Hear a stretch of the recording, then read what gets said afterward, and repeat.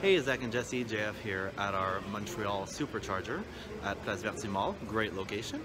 Um, You You's in town, so there's quite a crowd. Most people have left because the test drives in his Model 3 are about to start. Fred Lambert from Electrek is here, our ex-Minister of Environment, so thanks a lot uh, for letting us see and test drive your Model 3. And thank you, Zach and Jesse, for your great channel.